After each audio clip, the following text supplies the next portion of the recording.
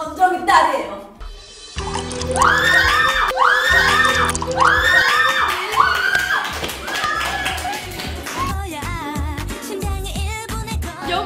따라하기요? 와우. 기대된다. 것 같아. 기대된다. 기대된다.